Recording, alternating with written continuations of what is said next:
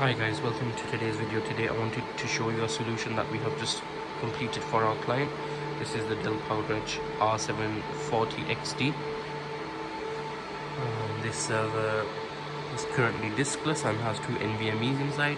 It's a standard spec, but it's got uh, an RTX A6000 48 GB 48 GB GPU, which I'll show you.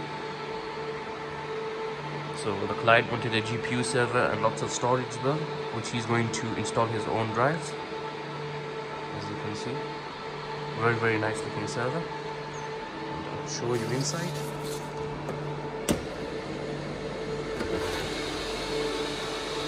As you can see, we have the A6000 here.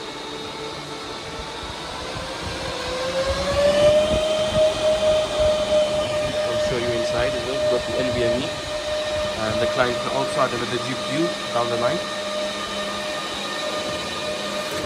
I'll show you the specs.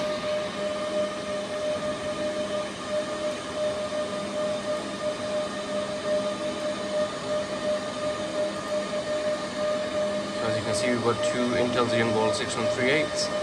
We've got 256 GB DDR4 memory, and we've got the RTX A6000, which is a 48 GB GPU. I'll also show you here.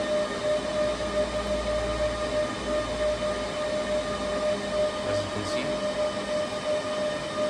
So guys, any GPU solutions, Dell, HP, Supermicro, anything, just drop us an email. You can see 48 GB GDDR6.